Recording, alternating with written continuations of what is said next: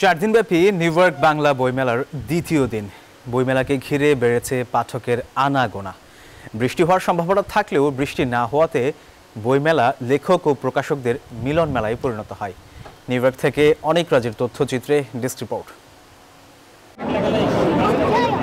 সমবয়সী মানুষের আনাগোনায় মুখরিত নিউ ইয়র্কের বাঙালি প্রাণের উৎসব পাঠকেরা এসেছেন ঘুরে দেখছেন অনেকে বই কিনছেন। আগতরা বলছেন ছোট পরিসরে বইমেলা দিনে দিনে আকৃতি বড় হচ্ছে। এইটি নিউ ইয়র্কে বাংলাদেশিদের বা বাঙালিদের একটা সবচেয়ে বড় উৎসবে পরিণত হয়েছে। সারা পৃথিবীর প্রায় নটি দেশ এবং আমেরিকার প্রায় ছাব্বিশটি স্টেট থেকে প্রতিনিধিত্বমূলক লেখক সাহিত্যিক কবি এখানে এসেছেন?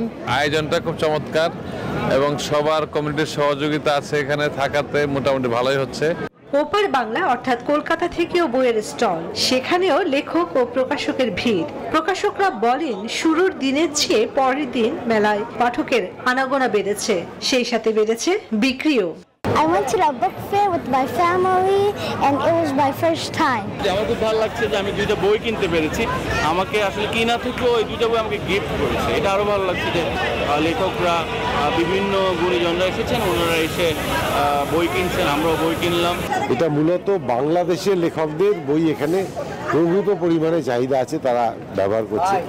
আমাদের তো বাংলাদেশে সেরকম পরিচিতি নেই, অল্প বিস্তর।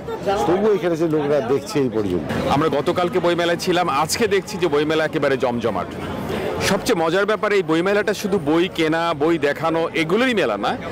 এটা যেমন একটা বাংলাদেশের সারা বছরের একটা সাংস্কৃতিক পরিবেশনার একটা বড় আয়োজন, একই সঙ্গে এটা একটা অসাধারণ মিলন মেলা বাইরে ঢোল, হারমোনিয়াম দিয়ে আসর গেড়ে পুরনো দিনের গানের আসর গড়েছেন অনেকে। ফাউন্ডেশন আয়োজিত নিউ ইয়র্ক বাংলার বইমেলা নিয়মিত অনুষ্ঠিত হয়ে আসছে, যার যাত্রা শুরু হয়েছিল উনিশশো বিরানব্বই সালে একক প্রয়াসে। Chandrani Chandra news twenty